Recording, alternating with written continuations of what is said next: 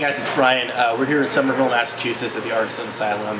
Um, talking to Brandon, Rascal Micro. Um, this is this is a this is a board. Those of you who are familiar, familiar with the Arduino have probably seen something along these lines. I mean, let's start off Sure. by explaining how this is different from an Arduino. Sure, so it's maybe 25 times faster, has a thousand times more storage, but, and it can... So better in every way. Yeah, better in every way. Yeah. I mean, admittedly more expensive, sure. I have an Arduino here, right? So you can see it's bigger, Mm-hmm. um, but the big thing is it can handle real web traffic. So any shield that you could plug into an Arduino, you can also plug into a Rascal. Yeah.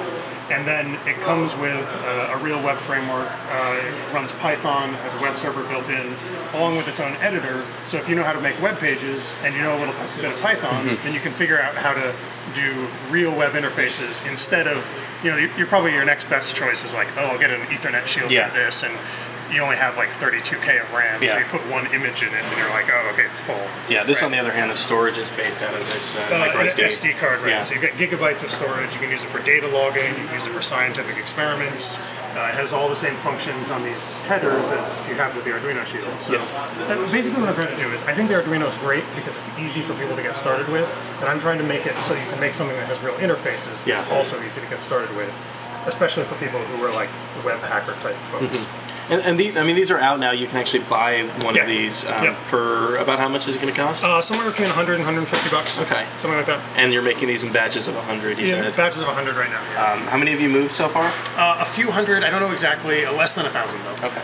Can I- you, can you, when- uh, go ahead. I was just going to ask if you could show us a quick demo of Sure, the web yeah, okay. interface. Yeah, so I have here, um, so I have one running back here, Mm-hmm. right? And it's hooked up to this motor. I'm just using this Arduino as a motor controller.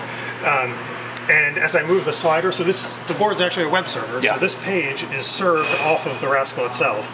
And as I adjust the slider, you can see it changes the speed of this motor back Yeah. here. So that's like going kind of fast. Here, this is going even faster, right?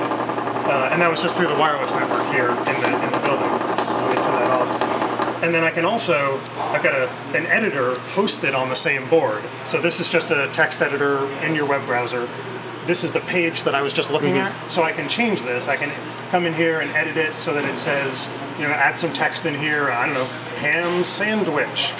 You know, I'll just add ham sandwich Yeah. in there, hit save. Now, if I wanted to, I can go get a ham sandwich. I can hit refresh here, and now you can see the words ham sandwich appear there. Yeah. So if you're a web developer, you're like, oh, I, I can figure out how to do it. You know, Yeah. a little HTML, and you've got yourself a real interface with an easy way to get connected to hardware. That's what I'm trying to do. So this is, I mean, this is connected to Wi-Fi, but the, uh, these two devices are not connected. Right, this is yeah, actually this is plugged power into cable. Ethernet. Yeah, I actually have this hooked into Yeah. the wireless transmitter here just so it can be on the network Yeah, yeah, in this building. Um, if you wanted to, you can put a, a, a USB Wi-Fi dongle on there, and then it would be wireless too. Because there are two USB ports yeah, on you got a couple USB ports. Um, practical applications of any of this? Mostly, it's a lot of weird stuff. I Yeah. think scientific folks will like it because you can do real data logging. There's enough room for a lot of data, you know, gigabytes of data. Mm-hmm. And you can do all of the sort of scientific Python stuff that you might normally do on another computer. You can do right on this Yeah. because it has the Yeah. horsepower to do it.